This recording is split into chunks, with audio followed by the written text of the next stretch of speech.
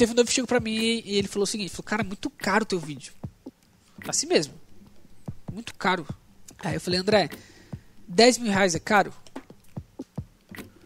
Aí ele falou, em comparação o quê? Eu falei, em comparação a quadro de Pablo Picasso.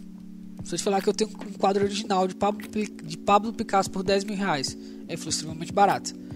Eu falei, então, desculpa, eu não posso dizer o valor que teu casamento tem pra ti.